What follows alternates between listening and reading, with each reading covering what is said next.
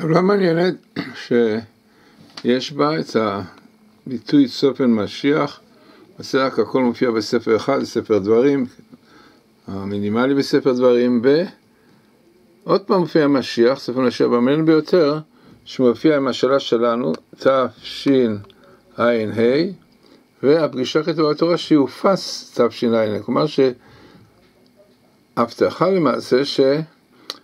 העניין של ספר למשיח יופץ בשנה הזאת, כן, היום באמת עושים דוקיומנטרי בלוס אנג'לס על נושא שללא ספק יביא את העניין הזה לעולם כולו ונקווה שבאמת הנושא הזה יופץ, כי זה חלק מתורת משיח, איזה מהסימנים לביאת המשיח, כפי שהגאון מובילנה אומר ש...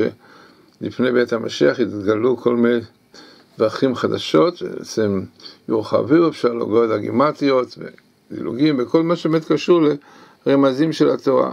כל זה המעניין ביותר שמופיע פה, ב, כפי שאמרנו, מינימלי, פגישות הכי טובות, וכל זה כמובן צריך להביא אותנו לדבר הכי חשוב, שזה תשובה, שבאמת למטה מופיע, כאילו הבסיס, תשובה, כן, שזה באמת היסוד של כל הדברים האלה, צריך להביא אותנו להכרה על חשיבות התורה.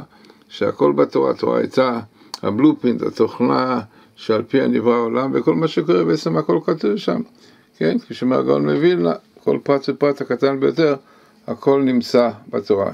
כן יתן השם שנעריך באמת את כוח התורה, את חשיבות התורה, ונזכה, נזכה למשיח במהרה בימינו, מקווה שהשנה הזאת, שנת שמיטה, מוסרי שמיטה בעיקר, ואז נזכה לגאולה שלמה במהרה בימינו.